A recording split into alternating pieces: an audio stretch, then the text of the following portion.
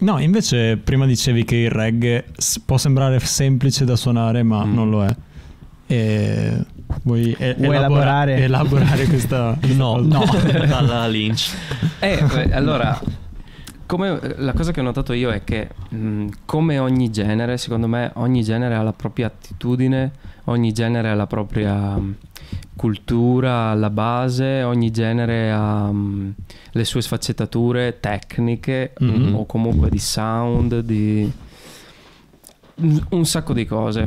E, mh, la cosa che ho notato quando ho cominciato a suonare reggae è che pur sapendo suonare un po' di pop, un po' di rock, un po' di metal, un po' di jazz, un po' di questo, un po' di quello, o comunque, sono, comunque partivo da zero. Cioè se quando ho suonato, non so, blues, un po' ce l'avevo, Mm, quando sono passato al funky ci è voluto un Mm. po' per addrizzarmi, però avevano una radice comune. avevano una radice comune, probabilmente il- reggae cioè, è, è- una cosa diversa. Mm. Lì ho dovuto proprio ripartire da zero, anche perché devi sintetizzare quello che fai, Mhm. cioè il, il- il tuo playing deve essere essenziale, servire il pezzo e, e- è tutta un, tutto un altro modo diverso di vedere le- la, la canzone. Anche perché eccetera. tendenzialmente la chitarra nel reggae ha una funzione ritmica, Esatto. che è una cosa Inusuale. inusuale rispetto ad tanti altri generi. Esatto, esatto. Ma In cui però tra l'altro, scusate, sì, no, vai perché questo discorso qua era proprio eh, nel senso che la tua chitarra nei Mellow Mood credo Mhm. che dia anche un- un- una, una firma alla loro musica, nel senso che tu Mhm. si sente che ci metti delle, eh, un qualcosa che non è solo reggae, Sì, ci metti delle cose che non sono solo la chitarra ritmica magari che, eh, un- che- Esatto.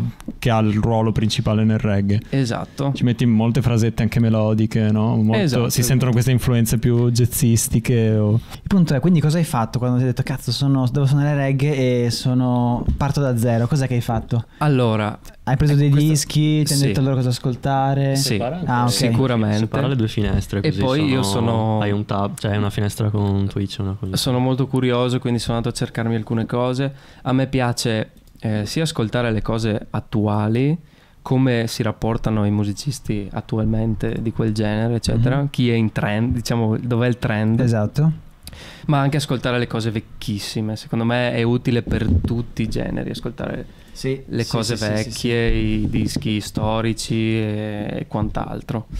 E, e da lì ho appreso un po' piano piano il linguaggio, ho cercato di capire come facevano fare quel su- suono lì e, e quant'altro. E il risultato è stato non ce la farò mai.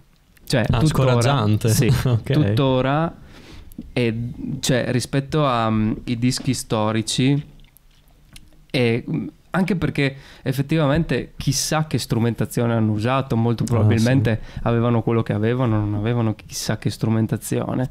E, mm, e non si sa niente, non ci sono foto, non ci sono video, quindi è molto difficile riprodurre quel tipo di sound, tant'è che piano piano, voglia o no, ehm, cioè sembra anche quasi che, me- che me- mi vanti di sta cosa, ma piano piano ho creato il mio sound per sopperire un po' Mhm. a, a quella lacuna perché eh, È ok. irriproducibile. Sì, è originale. irriproducibile. Beh, comunque, cioè, non la vedo come una cosa brutta. No, no, no, no.